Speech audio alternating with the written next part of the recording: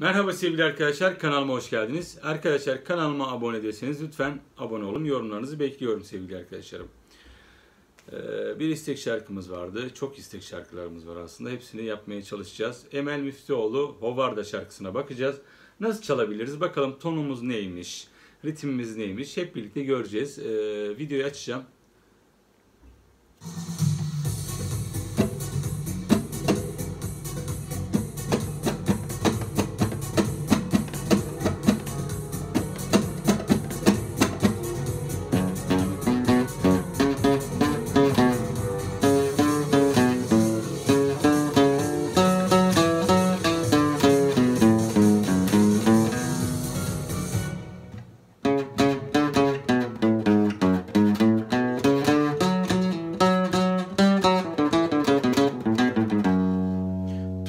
Diyezmiş arkadaşlar.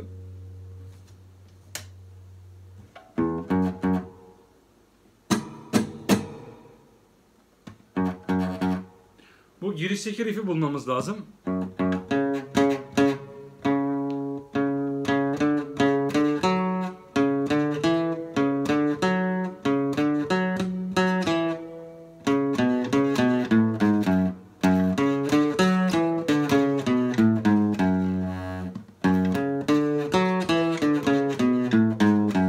Şöyle bir riffimiz var arkadaşlar. Solo yok aslında. Çok öyle aman aman bir solosu şarkının yok. Zaten dıp tıs dıp tıs diye başlıyor arkadaşlarım.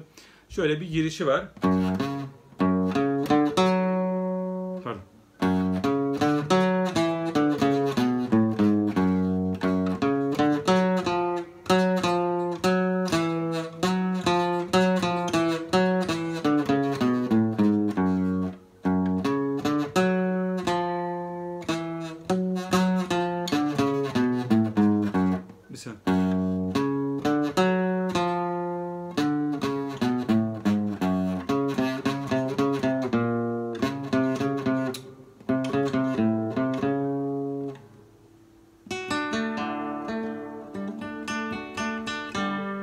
Yok.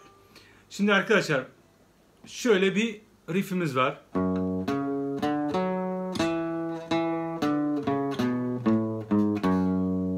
Bu. Bu dönüp duruyor arkadaşlar.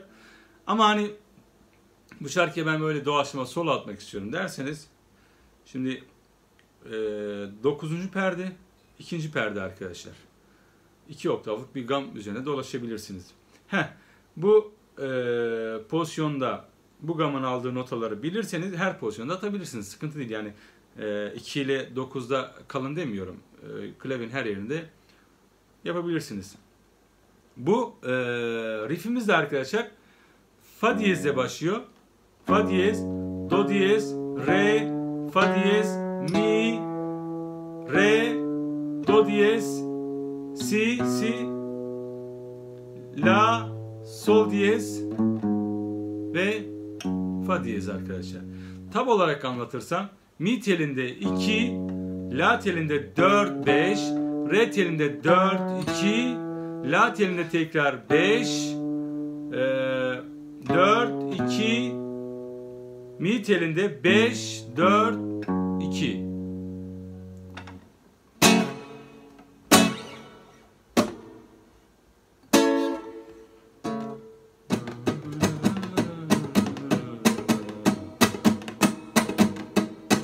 Ritimimiz bu arkadaşlar.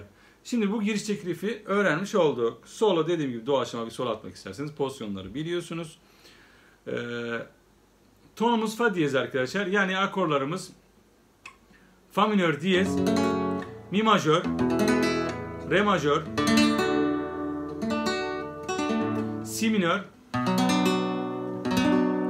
ve e, do majör diyez arkadaşlar. Do, do diyez. Bu akoru hep anlatıyorum çalışın diye arkadaşlar. Bakın çok bir yere gitmenize gerek yok. Pozisyonumuz burada. Hemen şurada yani şu dördüncü pozisyona gelip şöyle do do diyez basmaya gerek yok. Eğer hani bare full basıyorsanız 9'a çalın derim. Burada fa minör diyez yapacaksınız. Bir üstte hemen do majör diyez. Re majörü şurada basmanız lazım. Şey pardon. 5'te basmanız lazım. Mi majörü burada basmanız lazım. Bu daha sizi çok zorlayabilir arkadaşlar. Ee, en iyisi dediğim gibi şuradaki e, do majör diyezi çalışmanız lazım. Akorlarımız bunlar. Şimdi sevgili arkadaşlar e, biz şimdi ritmi de anlatayım ben. Ritim şu.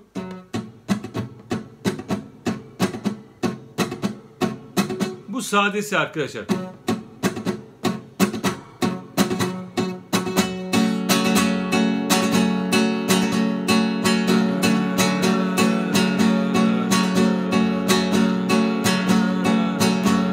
Buna süsleme koyarsak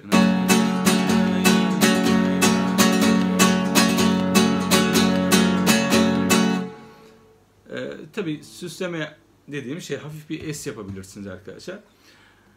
Ritmi anlatıyorum sevgili arkadaşlar. Şimdi her şarkının bir ritmi var arkadaşlar. Hep vuruş süreleri var. Ee, şimdi ben A'ye A'ye diye anlatıyorum ama tabii şarkıyı dinlemeniz lazım. Şarkıyı dinlemezseniz hani düz A'ye A'ye vurduğunuzda hiçbir şey anlayamazsınız. Yani şarkıyı iyi dinleyip oradaki ritmi söylediğim vuruşlarla eşlik etmeniz lazım. Belki de o yüzden bazen ritim an kimse hani bazı arkadaşlarımız anlamayabiliyor. Çünkü her şarkının zamanı, vuruşu, işte ritim vuruşları çok farklıdır. A'ye A'ye diye yazıyoruz Ee, ama tabii ki önemli olan burada sizin şarkının iyi dinlemeniz. İyi dinleyip ve bu bahsettiğim vuruşlarla şarkının ritmine eşlik etmeniz lazım sevgili arkadaşlarım. Ee, ritmi söylüyorum. A, Y. Şimdi ilk vuruşumuz geniş. Bakın. İkinci de öyle. Bak.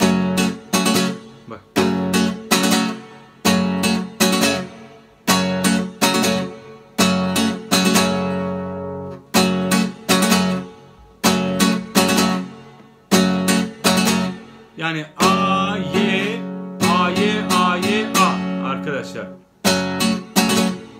Bakın A, Y, A, Y, A, Y, A.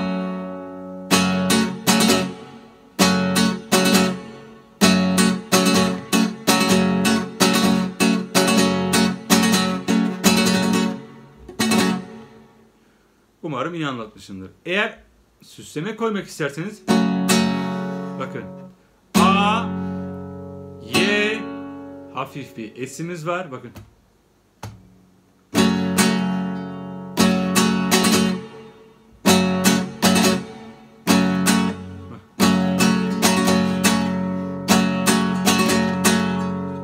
Yani üçüncü vuruşumda S yapıyorum arkadaşlar bakın. A, Y, S.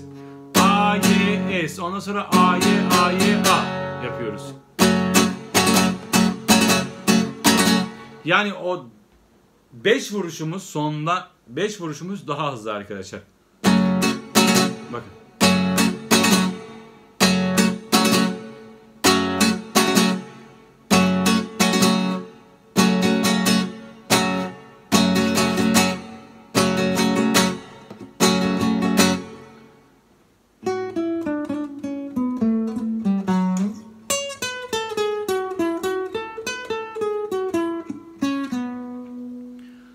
Akor düzeni zor gelirse sevgili arkadaşlar dediğim gibi iyi dinlemeniz lazım, iyi çalışmanız lazım sevgili arkadaşlarım.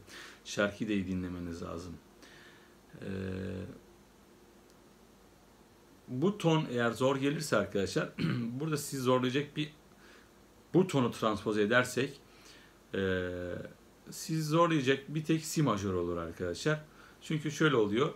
E, bakın transpoze yapıyoruz şu an arkadaşlar birebir. Bunu da buna da dikkat edin. E, fa minör diyez diye arkadaşlar. Mi minör yaptım. Sonra re majör yine var. Do majör akorumuz var.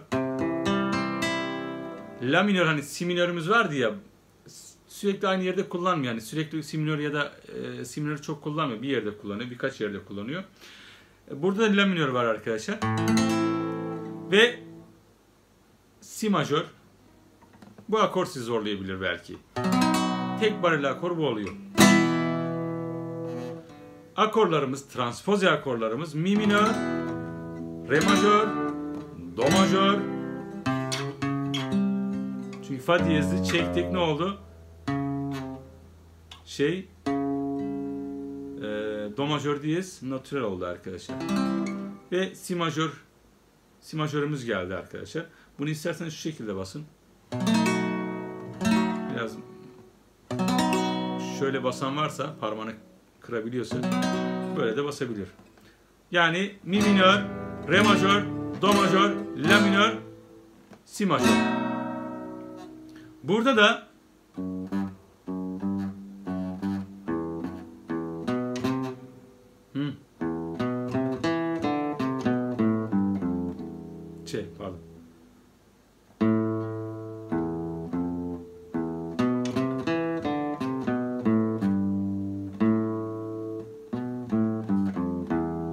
Da açık pozisyonda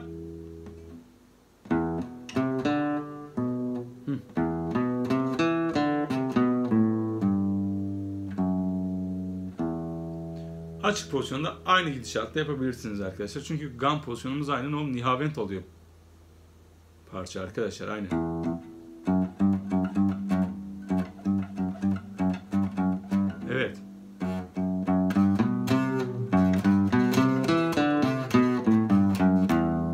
Nihavent arkadaşlar. Ee, zaten burada fa e, nihavent tonu üzerinde okumuştu arkadaşlar. Fa diyez. Ee, bakın makam da çözüyoruz arkadaşlar. Gördüğünüz gibi e, dersleri o yüzden iyi izleyin sevgili arkadaşlarım. Bu şarkıyı birebir hani aynı tonda çalmak istiyorsan da kaponu ikiye takarsan emelle aynı tonda okumuş olursun sevgili arkadaşlar. İstersen şey yani mi minör akoru basarak ama kapon 2'de olacak. Benim söyleyeceklerim bunlar arkadaşlar. Yani şarkının sözlerine hakim olamadığım için tutup çalıp okuyamadım. Hani ya da ne bileyim sadece nasıl çalınabilir, nasıl yapabiliriz bunu göstermeye çalıştım. En önemli şey olan da bu ritim, işte girişteki riff, e, makamımız oldu ve transpoze yaptık. E, umarım beğenirsiniz arkadaşlar. Kendinize çok iyi bakın, hoşça kalın.